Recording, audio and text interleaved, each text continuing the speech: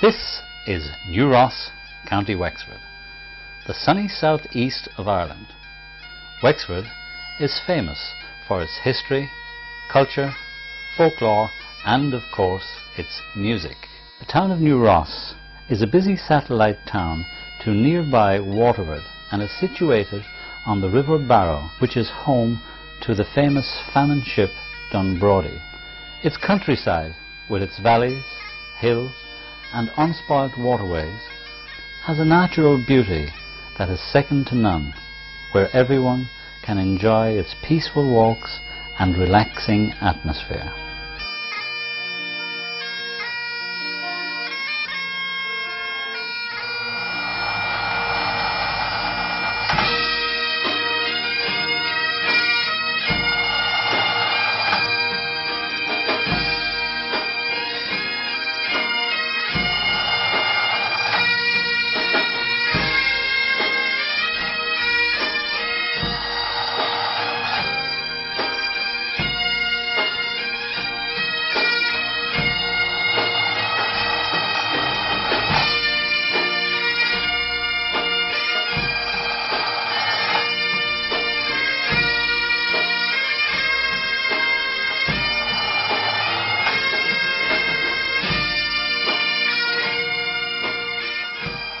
Well, the New Ross District Pipe Band basically is one big family, really. Um, I've been involved and I come from Dublin I travel over 90 miles to practice.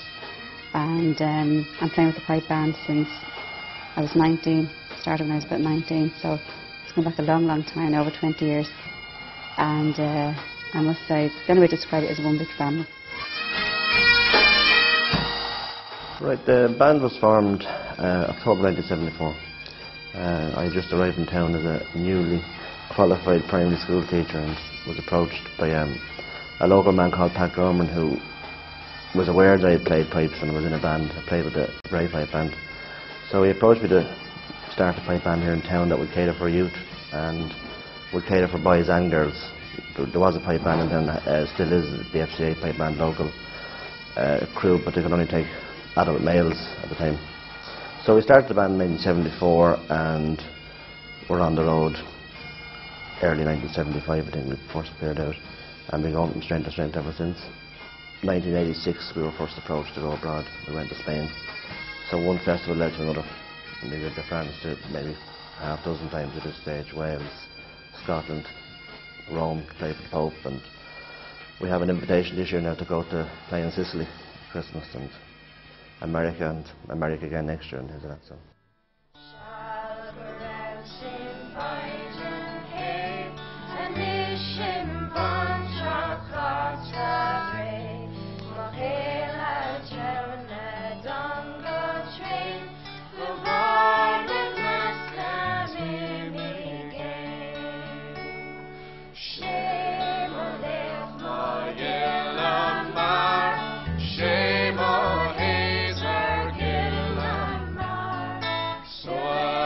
ashamed, he bore us pain, so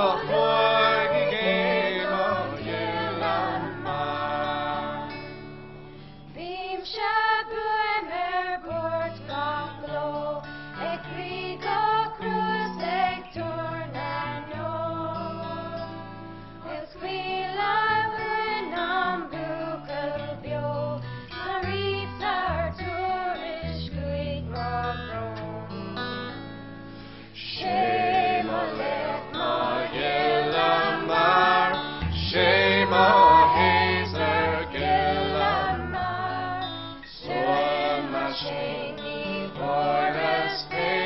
So Lord,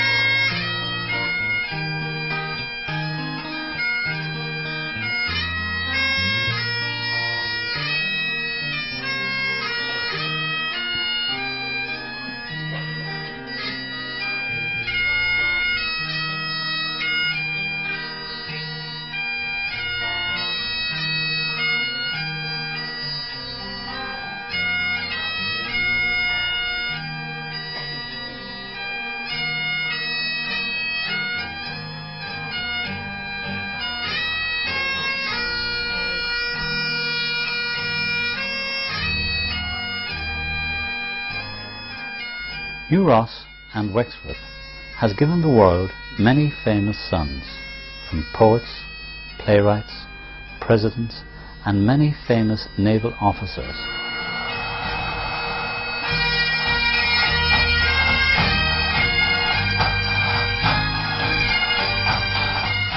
to inventors and entrepreneurs such as Henry Ford, the manufacturer of the Ford Model T motor car.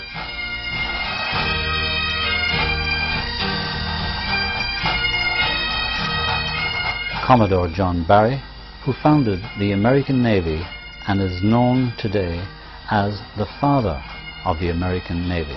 The inventor of the wireless radio, Marconi, too, had his roots in County Wexford, as did Logie Baird, inventor of the television. Last, but not least, Martin Byrne, Postmaster General of Wexford in Pittsburgh, Pennsylvania. Martin Byrne was a freedom fighter who fought in the Battle of Vinegar Hill in Enniscorthy in 1798, where many thousands of Irish men and women were slain by the British armies after a weekend of fighting and cannon fire. It was here that the story of Wexford, Pennsylvania begins, for Martin Byrne was one of the lucky ones. He escaped from the slaughter under the cover of darkness through this hedgerow called Needham's Gap. Here he had to travel fast and in secret to Cobh in County Cork. He stowed away on a boat bound for Ellis Island, America. Not much is known about him after this until he founded the first post office and coach stop in Pittsburgh, Pennsylvania in 1832 and named the area after his beloved Wexford in Ireland.